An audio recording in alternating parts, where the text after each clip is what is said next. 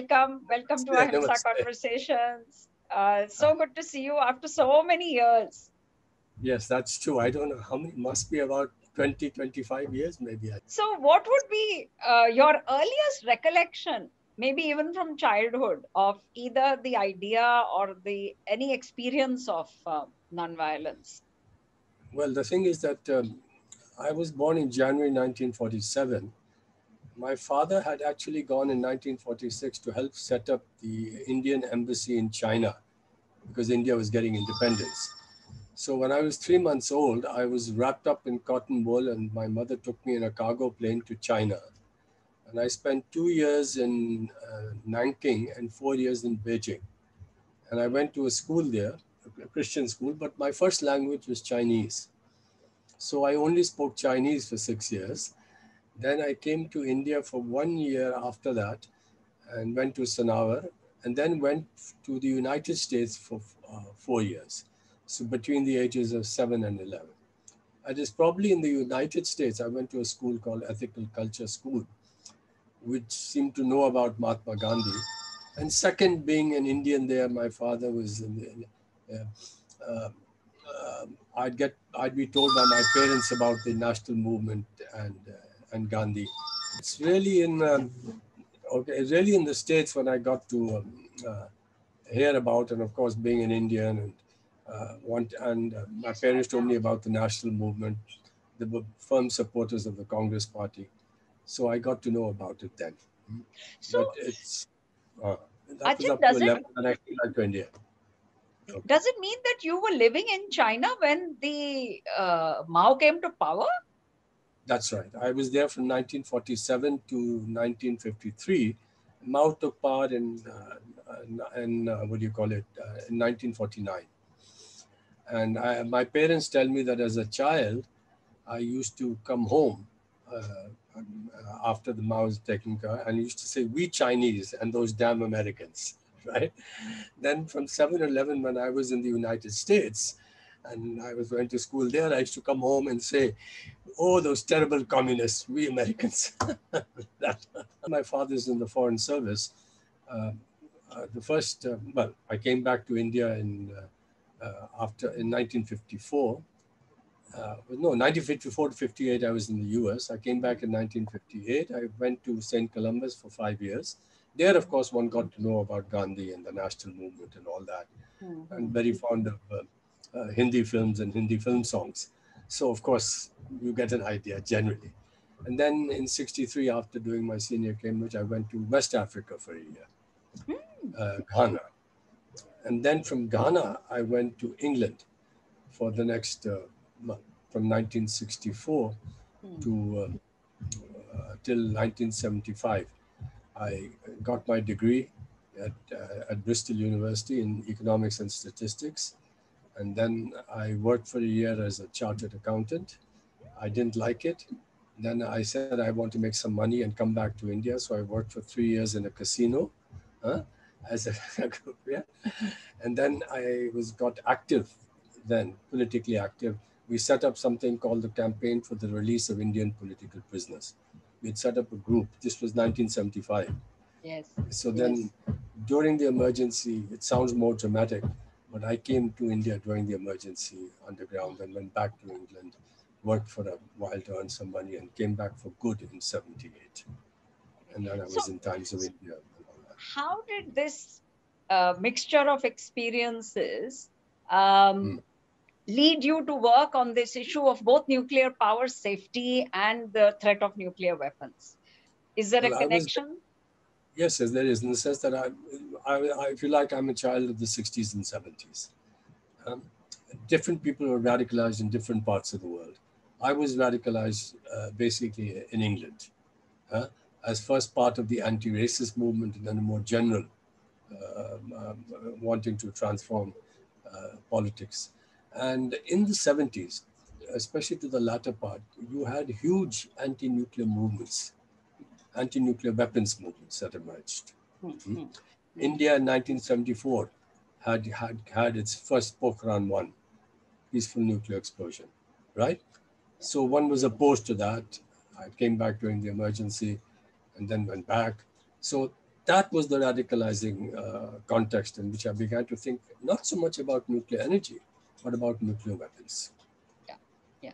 Achin, as someone who has studied these issues very closely, for the purposes of our audience, can you just walk us through the opposition within the scientific community pretty much from the moment of the detonation at Los Alamos? Can you kind of give us an overview of how and why a substantial portion of the science community stood up hmm. against nuclear weapons?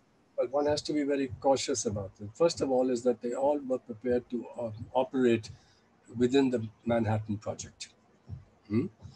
Um, because of World War uh, II, and because there was some uh, suspicion that Germany, under Hitler, may be preparing nuclear weapons.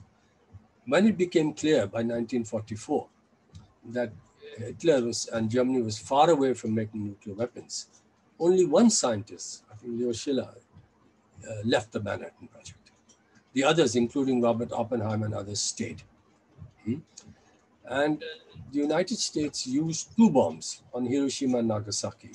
Uh, and um, these uh, two bombs are of different types, a plutonium and uranium bomb, and they wanted to test to get an idea of it. Why did they drop those bombs? One, of course, they wanted to know what, how it worked.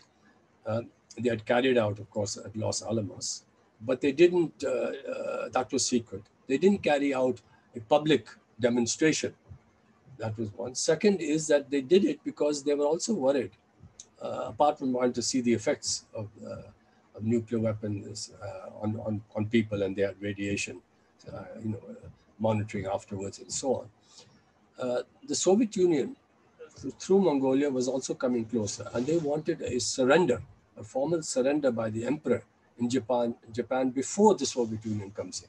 Because unlike in Europe then, then they could have a say in making the arrangements. So this was in fact also motivated by the fact that they want to get uh, the Japanese surrender quickly, which happened virtually immediately.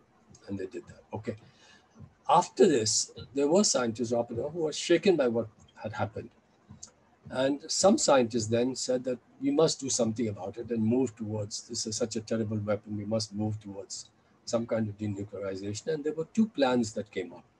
The first plan, I don't know if you're familiar, that was the, called the Acheson Lilienthal uh, plan, right? And this plan was that we will go to the UN, we'll try to set up an atomic development authority, uh, and we will promote nuclear energy. Hmm? But this must come under uh, public control. And of course, uh, we also want to move towards nuclear disarmament, and the UN body that we set up should monitor and to make sure that uh, no other country can have nuclear weapons or move in the direction of having nuclear weapons. There should be the power of sanctions and so on. And now this plan, the Acheson-Lilienthal plan, did not say anything about when the United States would get rid of its nuclear weapons. Hmm? And then you had what was called the Baruch plan, because Baruch was the person, Bernard Baruch, who was sent to the UN by the US. And he strengthened the plan in the sense of saying that nobody should be able to have a veto and that there should be complete freedom. The Soviets were upset by this and they put forward their own plan called the Gromyko plan, saying that, look, we should move towards this thing, but first the United States must get rid of its nuclear weapons. Huh? And that we have a veto power also over the kind of inspections and all. You can't just disregard that because the UN Security Council, uh, there were five countries which are the permanent members, plus Canada, which had also been part of the Manhattan Project was also brought in, plus uh, some other non-permanent members here, and was really dominated by the West. Uh, so that really was uh, uh the extent to which initially uh, scientists there.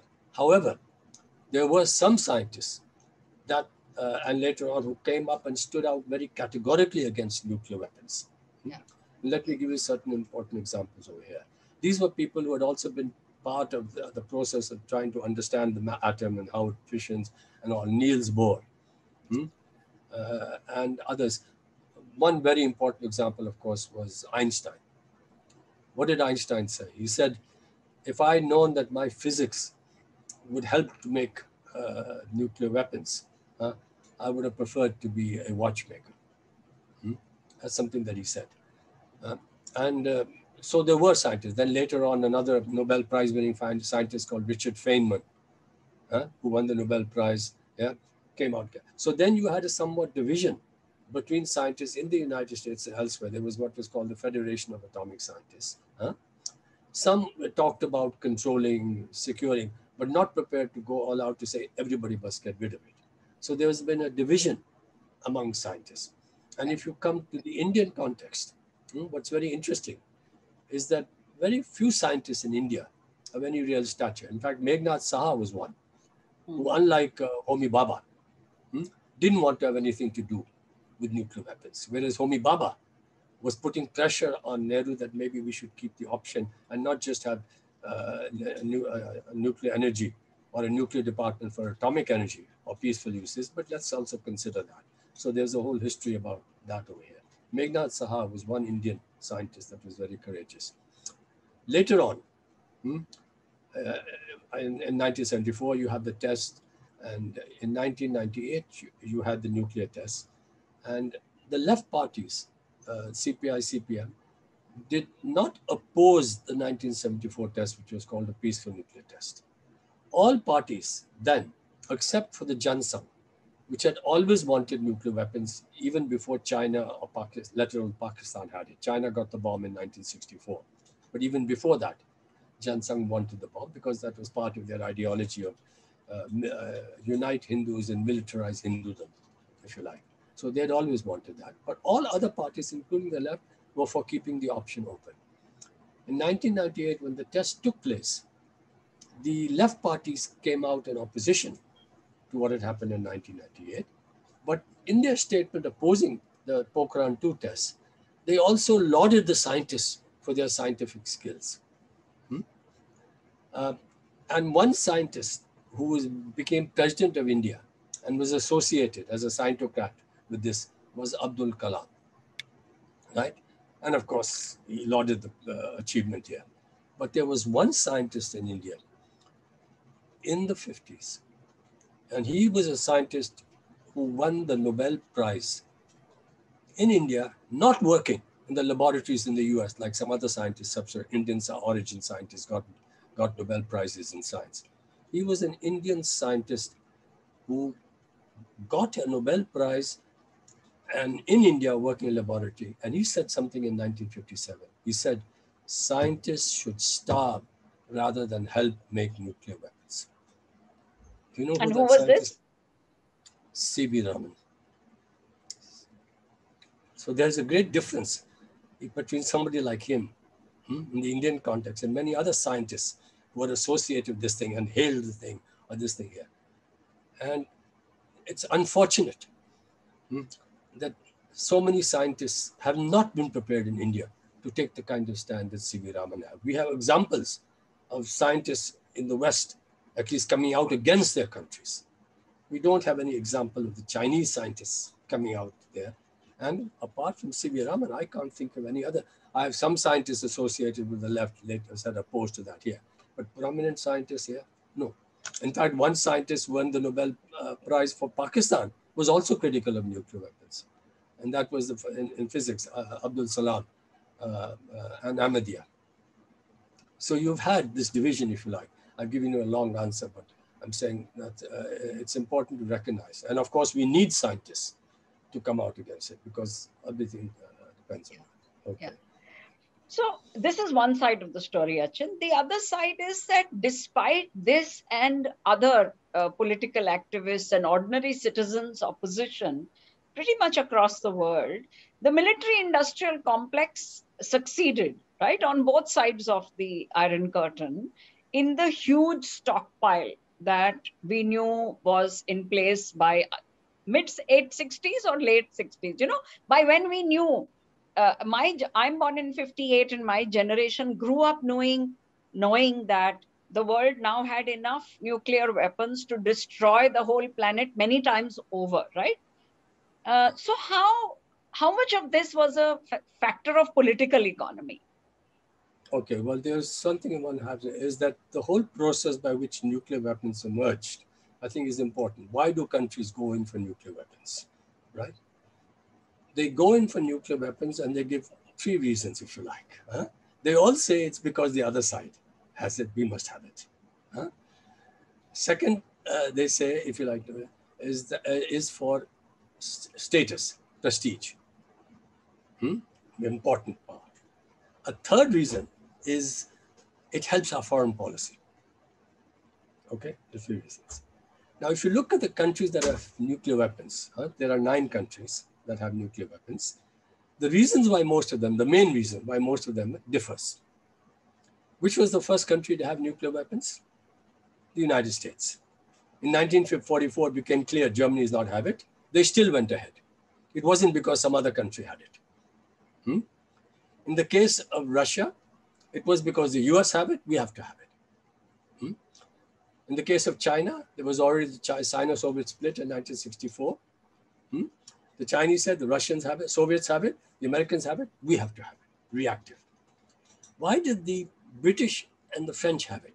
It had much more to do with prestige. Declining colonial powers, we will sit at the high table.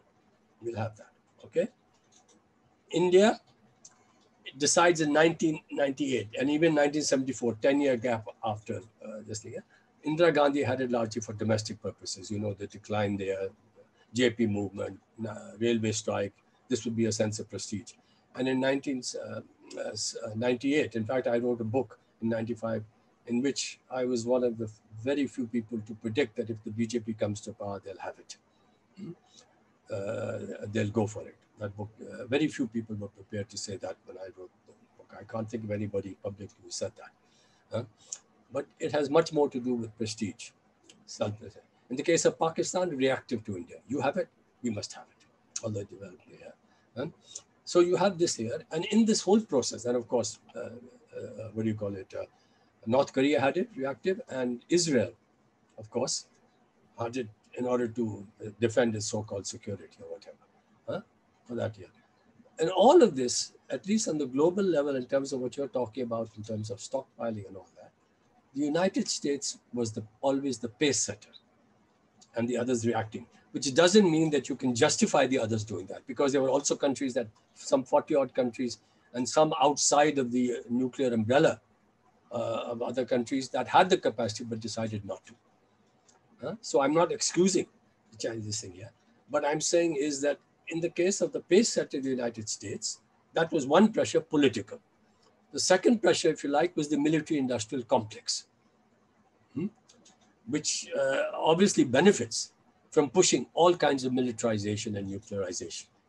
And in fact, it was only had something of a hiatus, and this pressure was weakened after the Soviet Union collapsed. And for about four or five years, from 1991 to 1995, uh, the American civilian government was resisting pressure from the military industrial complex to go ahead. But then that subsequently changes. And that pressure in the United States is not just a military industrial complex, it's a military industrial universities complex. So let's bring that in also, and which has been pushing it and been constantly pushing it. In the case of the Soviet Union, they, of course, in order to react, said that. And the only uh, uh, department of the Soviet Union which was given all kinds of funding and support was, of course, the military. And therefore, they also have a vested interest in also maintaining it so as to be able to have that. In fact, the United States was much healthier economy than the uh, Soviets, which is why the Soviet Union had to spend a much larger amount of money for its military industrial complex to sustain itself uh, uh, and to try to uh, uh, equate with the United States of America. So there was always this thing about strategic nuclear parity there. So that, of course, is there, and they continue to be tremendous pressure here. So-called Obama Nobel Prize nonsense. Within the United States establishment, the military-industrial complex has been arguing for modernization. Obama, modernization. Biden, modernization. The Soviets, also modernization. The Chinese, more cautious, but also modernizing, maintaining reactivity. What does modernization mean today in practical terms, uh, Achin, when we say that we modernization of nuclear weapons? Is it taking them into space or what? More than that. It's of course, uh, there's what's called the revolution of military affairs, which means that you have all kinds of guidance systems and all. You have radars, you have all that. So you can, of course, be much more accurate Huh? You're developing submarines and then you're developing nuclear powered submarines. And then you're also developing anti submarine uh, warfare techniques. Uh, and then you're also developing much more uh, uh, uh, precision guided ballistic missiles carrying warheads. You are advancing, you know, generally, you're advancing all kinds of developments here. You're going into space and you're now having a violation of what's called the uh, PAROS, the treaty against uh, the militarization of space, outer space. Oh, that's already happening. Of course, it's happening. You're also happening here. In fact, what did the again? This was where the United States. One of the uh, one of the best developments during the Cold War era was what was called the Anti-Ballistic Missile Treaty, in which both sides, uh, uh, the Soviets and the Americans, agreed that they will not try to develop a defense shield. Let me try to explain this a little bit. In prehistoric times, huh, or sorry, pre, uh, yeah, prehistoric times, one side gets weapons like uh, uh, spears or, or swords, right? Hmm. And the other side also tries to have that. Then one side develops shields, hmm. right? So the side that has a shield as well as sword huh, and spears has an advantage over the other side. Okay? Now, deterrence, according to uh, nuclear, those who uh, hold nuclear deterrence theory, is that there's always the danger that one side might strike first. Hmm? So if one side strikes the other first, we must have enough nuclear weapons so that even if they strike first, we'll have enough left over to hit them. In which case, they won't strike first. So if you like, one dynamic of nuclear weapons stockpiling is precisely this. First strike, you must have what's called a second strike capability. The United States, after the end of the Cold War and from 1995 onwards, started to develop a ballistic missile defense shield, which was basically, if you like, two kinds. One is that we will have a ballistic missile which can hit the other country's ballistic missile, which has a nuclear warhead. So one missile will hit out. It's like a bullet hitting out the other bullet. Huh? Also, we will put in outer space and we will move towards having, if you like, Star Wars type things, laser, this, that, hit it in outer space and have all kinds of guidance mechanisms and so on.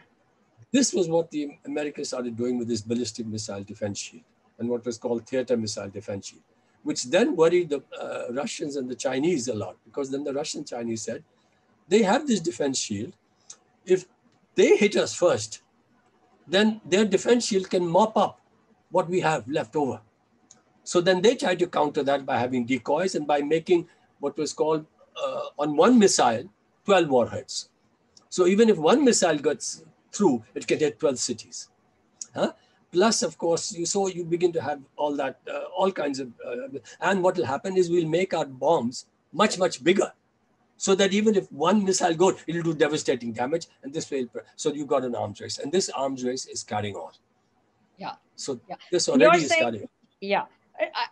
Two things, Achin, here. One is uh, how do we, what you're talking about was also known as MAD, am I right? Mutually assured destruction. No, mutually assured destruction was, uh, uh, was there in which both sides supposed to have a second strike capability, right?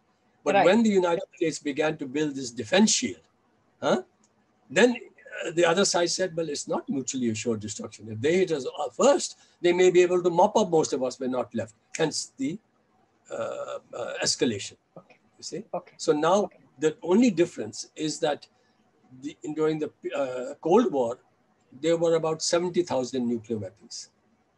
Hmm?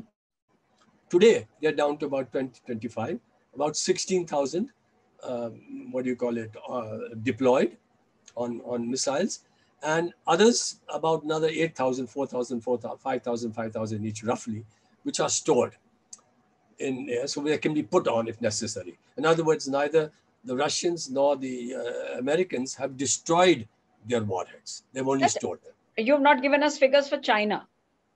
China has about, let's say, 250. Uh, China has just felt it had enough to uh, hit it. It didn't go for what is called counter value, uh, counter uh, uh, counter force thing. I mean, fact, do you want me to explain all this?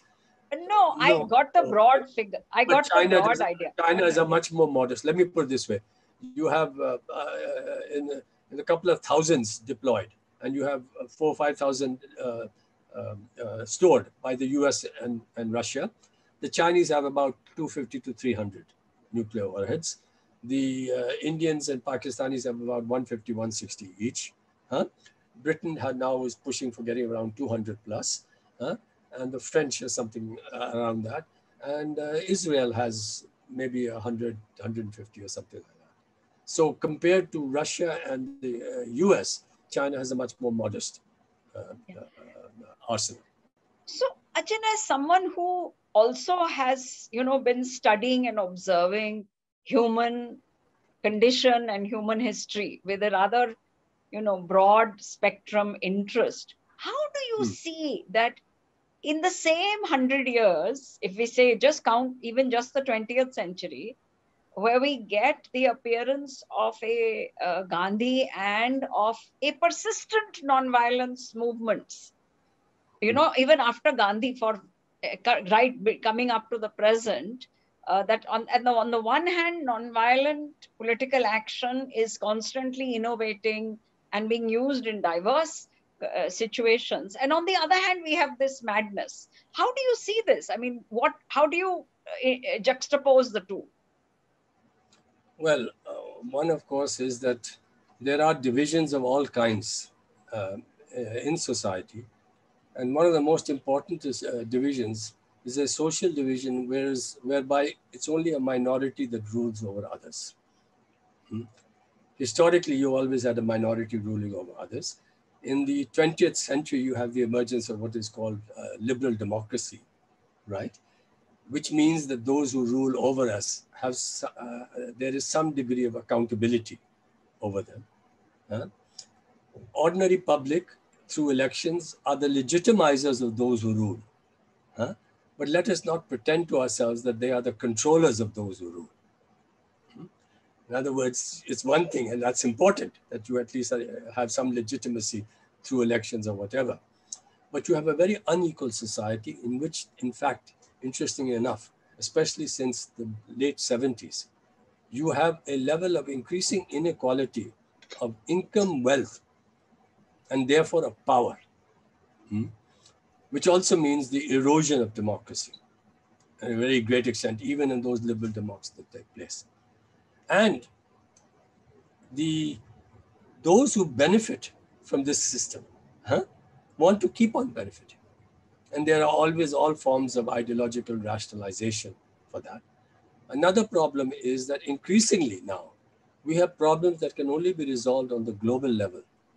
But we live in a multiple nation state system in which you have each state pursuing its own national interests in quotes and prioritizes that. So let me give you four problems now, which can only be resolved on the global scale. Hmm?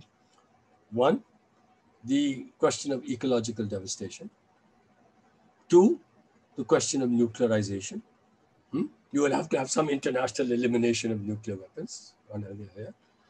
Three, the most incredible inequalities of income and, uh, and wealth.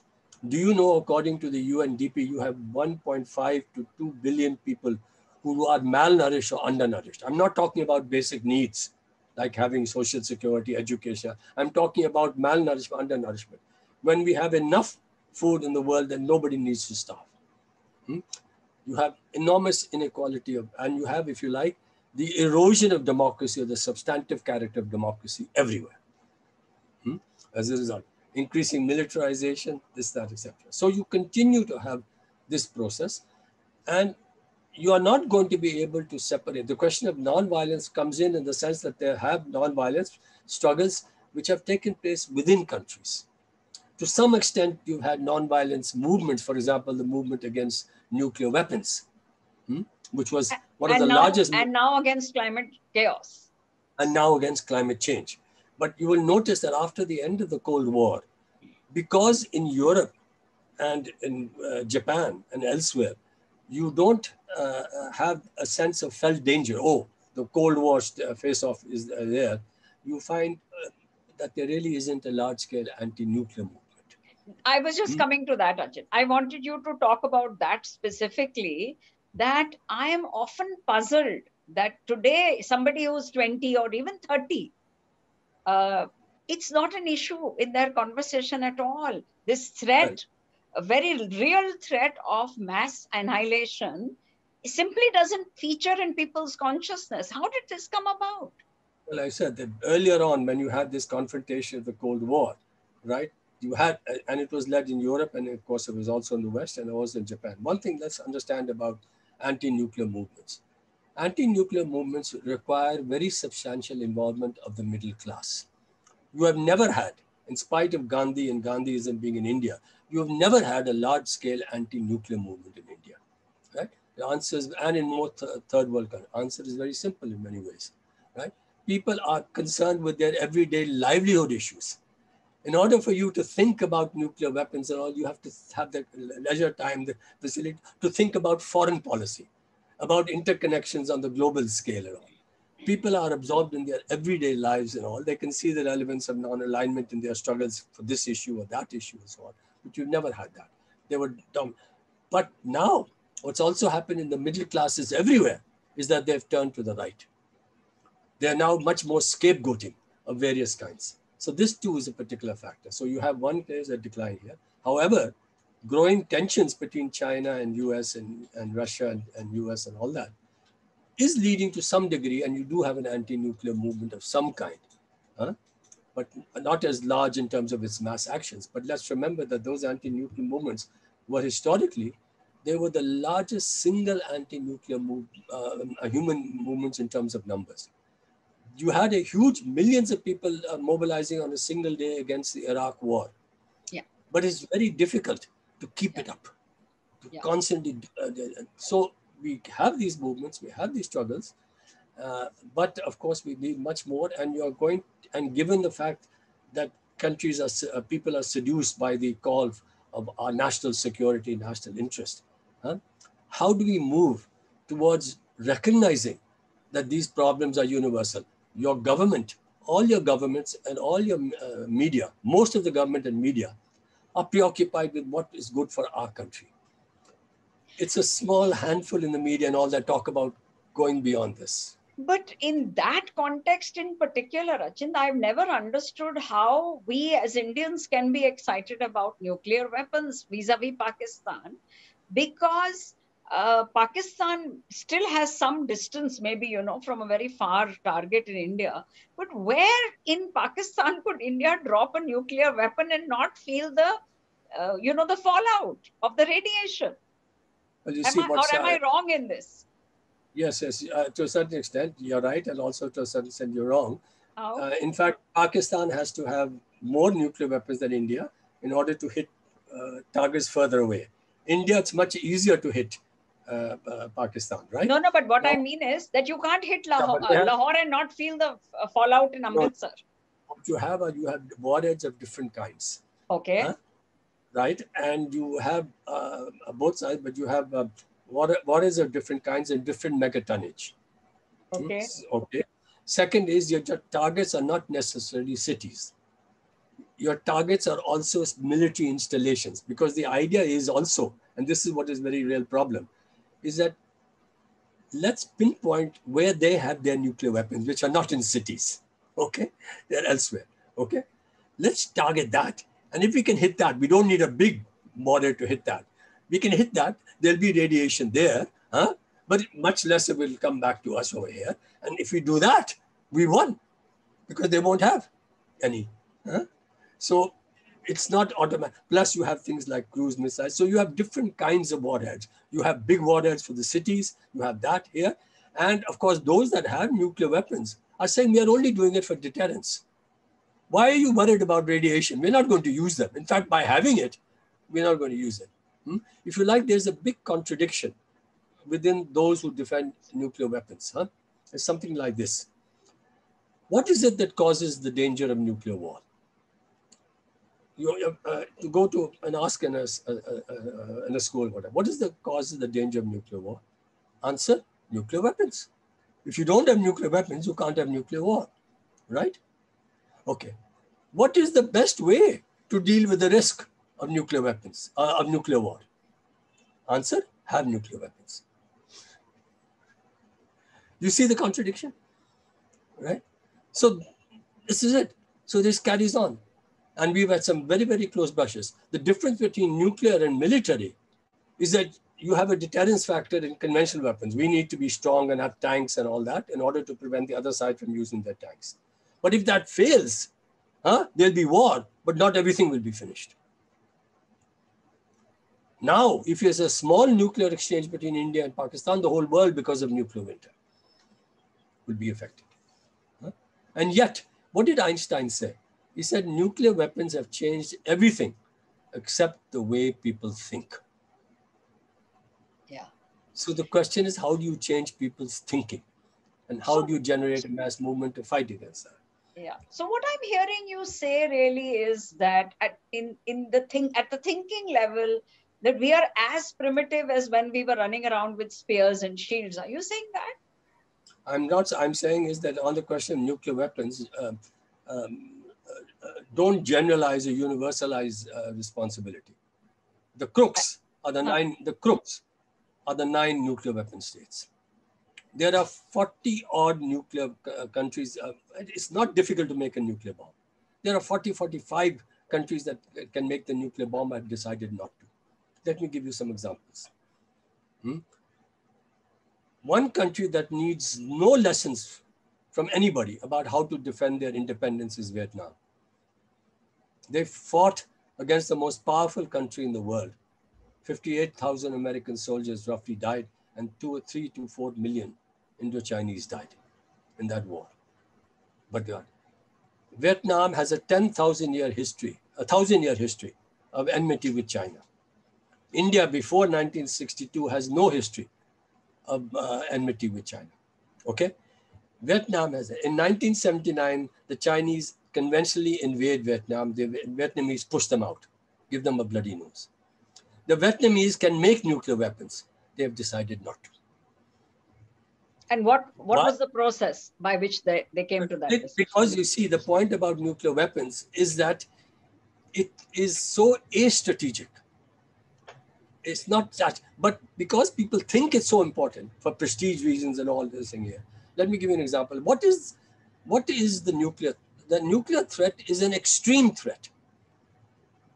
Right? It's an extreme threat. Huh?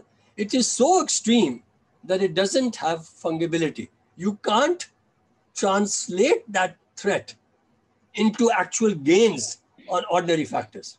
Bangladesh does not have nuclear weapons, India has. Can India use its nuclear weapons to sort the border issue? Can India use nuclear weapons to get a better trade deal?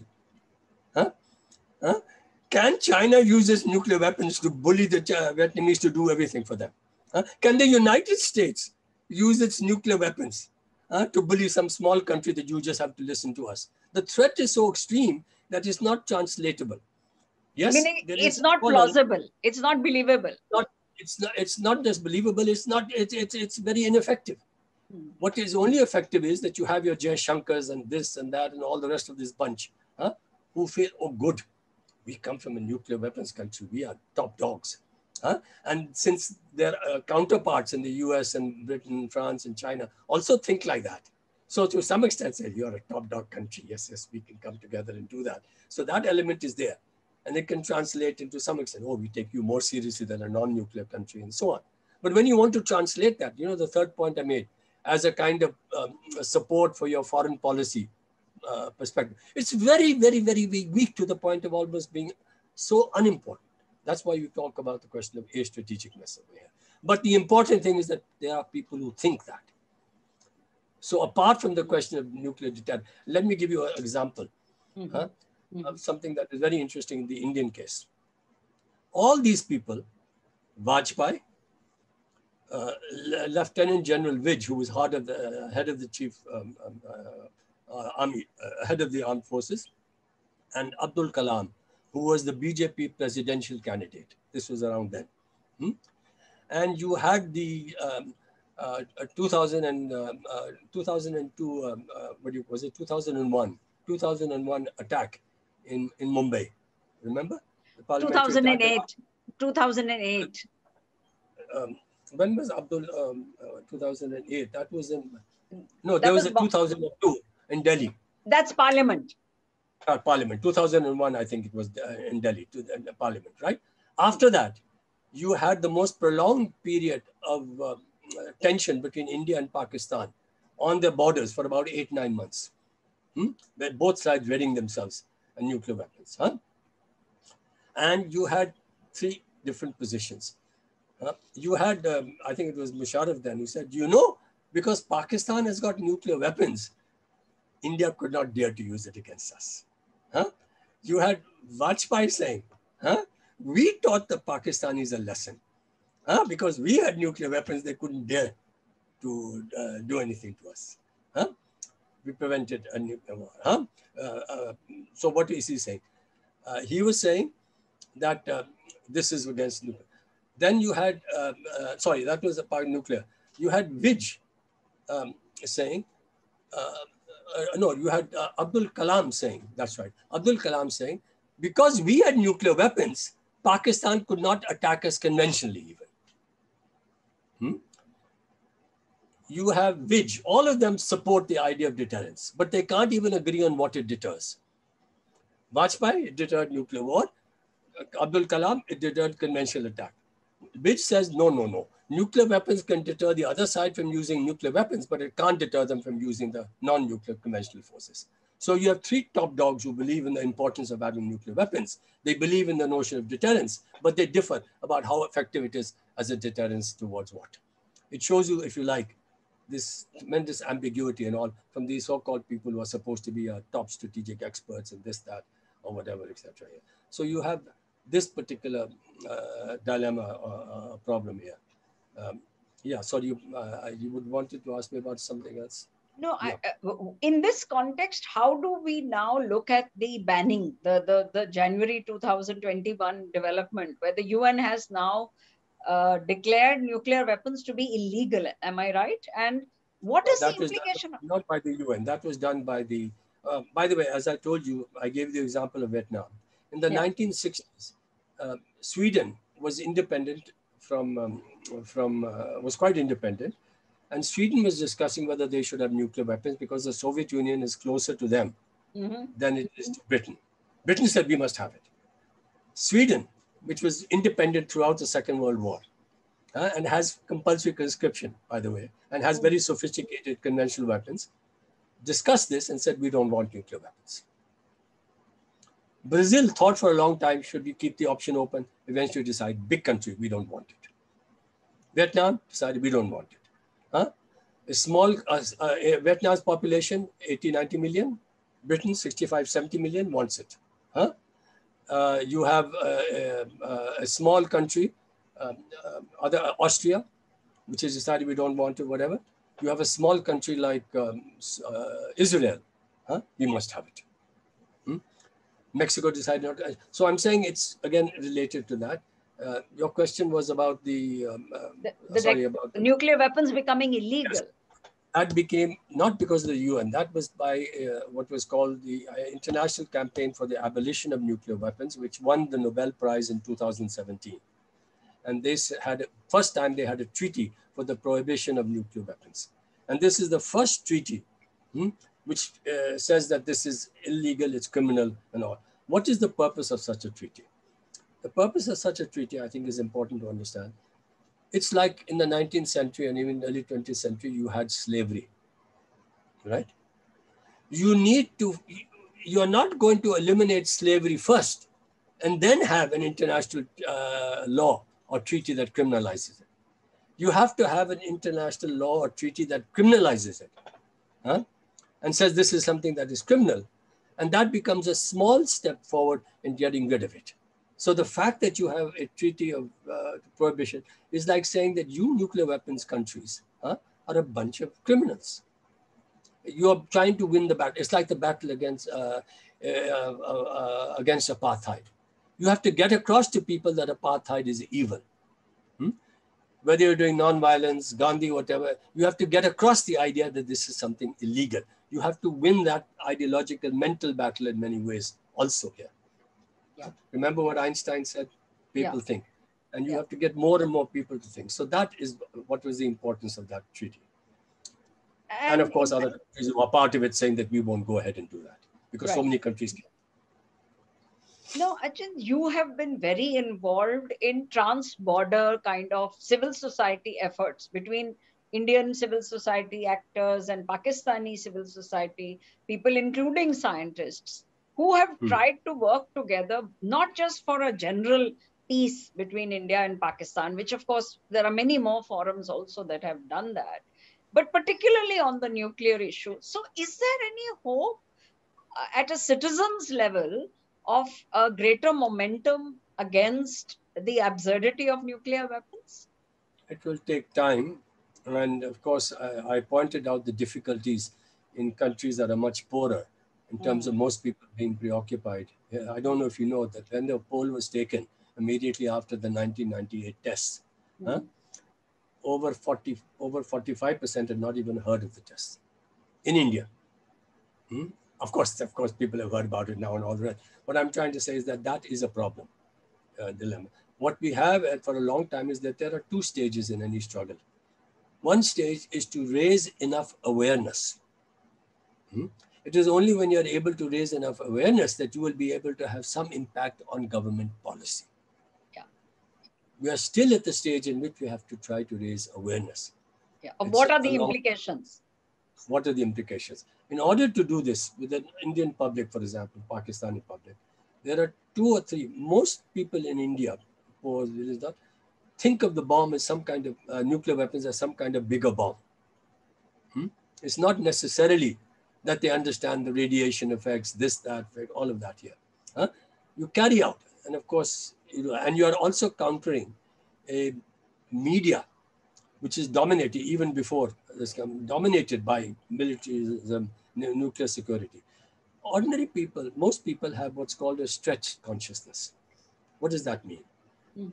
It means that on issues that are close to them, huh, they are not going to be persuaded by uh, uh, faraway um, uh, media saying, they say, this is affecting us. Don't tell us that we shouldn't have a strike.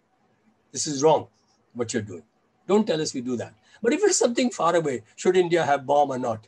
They are much more inclined to go along with what is the general consensus, what is the general view they see on TV, on the media, or social media. That's a stretch consciousness. Huh? What you have to do, of course, is to raise that awareness in a variety of ways. And that's a considerable long-term struggle. And this is also affected internationally. Mm, I yeah. expect that the international national, in the Indian context on the nuclear question, there is one country whose government has had the courage to uh, criticize India and Pakistan for going nuclear. Do you know which country that is? Bangladesh. Bangladesh was the one country huh, that said that. Before the um, uh, the Maoists came to power in Nepal, I had gone to Nepal, and I had talked to not just the leaders of the Maoists, but also the uh, leader Thapa of the Congress uh, youth wing in Nepal. And I had suggested to them, I said, look, there's going to be here, you're going to have to redraw a constitution. Why don't you become the first country in the world huh, to have in your constitution huh, that you are a single state nuclear weapons free zone? The only country which is a single state nuclear weapons free zone is Mongolia. I said, you can become the only country in the world that has it in your constitution. They said, good idea, good idea, but nothing really her because the Indians also will put pressure on Nepal trying to move to uh, say we are a single state. But the one country in which, at least in their parliament, there is, was at least a discussion about them becoming a single state nuclear weapons free zone is Bangladesh. Bangladesh is next to what is called the Southeast Asian nuclear weapons free zone, which includes all the countries, including Vietnam, uh, Philippines, and others, which have said that we don't want nuclear weapons.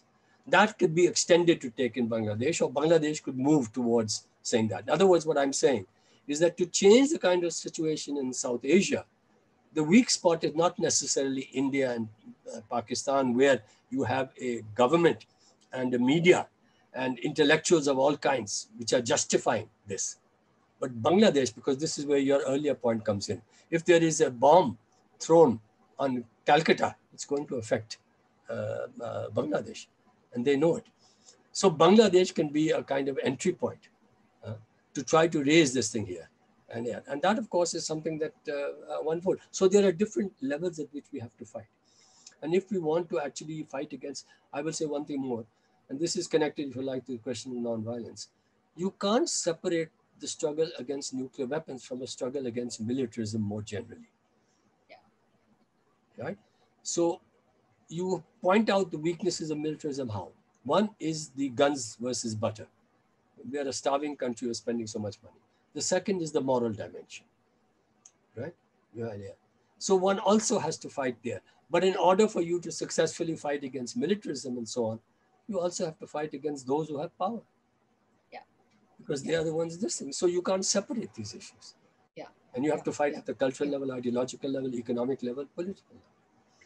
So, in closing, Achin, I just want to pose a, a, a somewhat philosophical question that hmm. is very emphatic position on the invention of atomic weapons, or now what we call them nuclear weapons, was that this has taken the logic of violence to its extreme form. Therefore, he argued, now actually, if the species is to survive and thrive, non-violence is the only thing left in the field. Hmm. Philosophically, how do you respond to this? Well, on the question of nuclear weapons, it's fine. Even uh, Gandhi's position on violence, many people have pointed out, those who are very sympathetic to Gandhi, that more important for him was the question of justice and the question of truth. Yeah, right? Yeah. And the, and therefore, they, uh, he would even say that cowardice, when somebody is coming to attack your family, is the worst form of violence rather than self-defense. Absolutely, yes. So right, all that is there. Yeah, but uh, uh, so fine, that's uh, okay. On the question of nuclear weapons, obviously we have to uh, move towards that.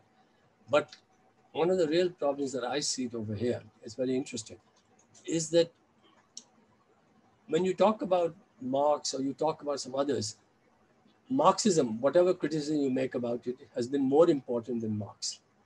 Hmm? Gandhi has been more important than Gandhiism. This is a real problem in many ways.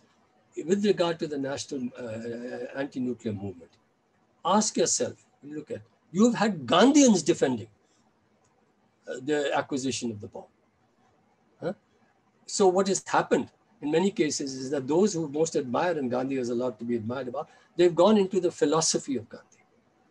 But as a movement, we have to ask ourselves, why is it that in India, why is it that in bloody Gujarat, huh, there is so little of that impact over here? And that raises questions of all kinds that we have to deal with over here. Gandhians should be, and the Gandhian movement should be the uh, uh, uh, automatic, uh, uh, obvious. And yes, you have. You have many Gandhians and all, Medha Patkar, many others, and who's Meyer and all who've been part of the anti-nuclear movement. But these are individuals and to small groups here. Why is it not spread further? You had a movement in India which was uh, helped to bring about independence. So this then becomes here. And this raises uh, many questions about uh, uh, the approach to generating a movement if I perhaps I can just end here by just I should end now. Uh, whatever you you can wrap up if you want to, and but do make a more substantial point. Where time is not an issue. I can, and you can ask me the other question. I have no problems talking more. Is that, uh, to my understanding, um, one thing is of course is that um, two things about one. One, of course, was his importance on the question of the relationship between means and ends. Hmm? how can good means justify uh, good uh, good ends justify bad means right this is a philosophical concept of what's called prefiguration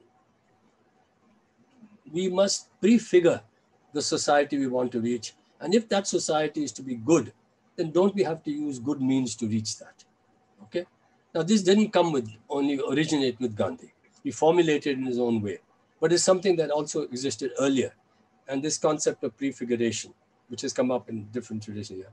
In the 60s and 70s, do you know the, uh, the anarchist tradition had that, uh, some said. But do you know in the 60s and 70s, which was the movement that most emphasized uh, the, uh, the concept of prefiguration? Certainly in the West and here, and to a certain extent in India, it was a certain section of the women's movement. It was section of the women's movement because you have different currents within the movements. But there was a section within the movements which were emphasizing the question of um, um, prefiguration, this question of principle The tricky thing here, of course, is that means come between ends and beginnings. And means cannot simply shape the end. Means themselves are going to be influenced by the beginnings. If the beginning is slavery, if the beginning is Hitler, then you cannot expect that only non-violent means are going to be used. Yeah. And this is something that's very tricky. One has to understand the whole question of the state and this is a tricky question. Gandhi and many others, Foucault and many others, fought against the notion of coercion. And coercion takes place in various ways. It takes place through socialization, it takes place through ideology. Therefore, you have to have the battle of ideas, you have to struggle all the way. Coercion. Hmm? Coercion is everywhere. Huh? It's because of coercion that you have the subordination of women, patriarchy, caste. You're uh, institutionalized to accept that lower caste, but at least there's somebody below us and all the rest of it. Here. You have all of this problem here. And coercion is wrong because it removes the freedom of agency of a person. Gandhi, in his own way, was emphasizing the centrality of the freedom of agency of people. Uh, he linked it to the question of the soul. We won't get into all that. But the point is that freedom of agency. And therefore, he's opposed to coercion. Everybody is opposed to coercion. But there's a crucial difference between coercion and force. Coercion removes the freedom of agency of a person, huh? or seeks to remove it or eliminate it. Force seeks to eliminate the person and thereby eliminate the freedom of agency. And that becomes a very, very tricky thing in terms of uh, how you deal with that over here. Our resource is the mobilization of as many people as possible uh, to fight against that over here and to uh, change that thinking here. But I think this is uh, something that we really have to think about uh, uh, in terms of how we uh, fight. I've already said that we have to connect it to all kinds of struggles, anti-militarism, promotion of a better humane life and so on over here. So uh, we can be grateful that most countries that have the capacity have not done that. But unfortunately, uh, how do we break away from this, uh, the trap of nationalism? I think you have to do it by first try to have a progressive nationalism and then understand the limits of even a progressive nationalism because a progressive nationalism cannot on its own address these problems. So if you like, in India today, we uh, Uh, everybody, uh, those who are not with the BJP sung, say that we are fighting for the soul of Indian nationalism. That's one. But let's also remember that there are limits to how progressive nationalism can be. There are no limits to how reactionary it can be. We have to go beyond nationalism to be able to address these human universal problems. So we have to develop a kind of fundamental universality. And if you like, in his own way, he was not the only one, but in his own way, Gandhi was committed to some idea, an idea of, of universality, rooted in his idea of, of human beings and the soul they have and all that. And human and humanism. And humanism, yes. Humanism means uh, uh, uh, this thing, that universality. That means what? It means that I can be a white person and be against my government for, for supporting the, uh, against the US government for supporting the apartheid regime in South Africa. I don't have to be black. I can be a man and support the struggle of, against patriarchy. I can be an upper caste and support the struggle of lower caste. I can be a, a, a um, upper class and support uh, lower caste struggle. I can even be a military man who comes around to the Gandhian point of view, if you like. so you can have all that. Uh, I mean, that thing here. Thank and, uh, you. no, go ahead. And it's an. I just want to say that it's an open struggle, yeah. in the sense that uh, the open-ended. Uh, the um, we have the capacity to make a much better world, but we also have the capacity to mess it up. Hmm? And we have to choose sides. And uh, um, throughout history, if you like, there have been two kinds of people. There are those who have struggled for power and those who have struggled for human decency and dignity and justice. And these are not parallel paths, they meander. But when they merge together, then power is being directed towards human, human, uh, human, humanness, towards justice, towards decency and dignity. But when they move away, some will continue to choose the role of power and some will choose this role. It's, and this is something that we have to, the future generation will also have to understand because the temptations of power are very great. Uh, and to subordinate everything to the question of power uh, rather than to actually seek to merge them and make them more powerful. And that's what we have to try and do. But that's something for younger generation. You're younger than me, so uh, I'm not going to be around much. So you have to think more seriously about it.